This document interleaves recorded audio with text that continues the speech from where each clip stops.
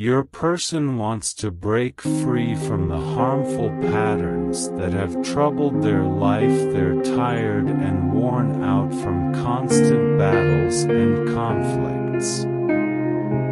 Last night something important happened that made them think about pushing an end to these toxic cycles involving other people. It led to a big argument. That made them feel betrayed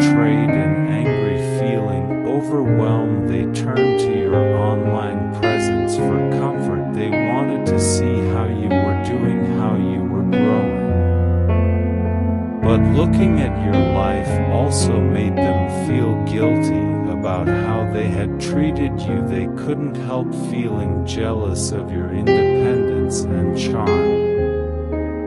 You became an inspiration to them showing them the path they wish to follow again right now they are going through a lot emotionally. They're grappling with their inner demons and longing to find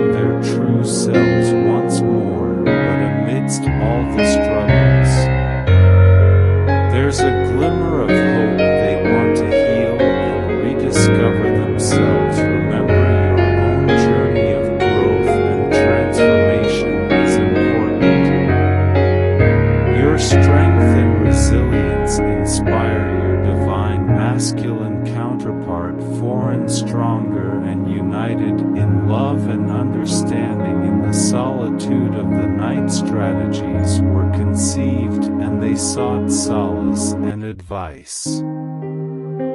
From their trusted confidence family and close friends the energy surrounding them pulsated with the desire for a smoother spiritual journey a release from the shackles that band them the universe.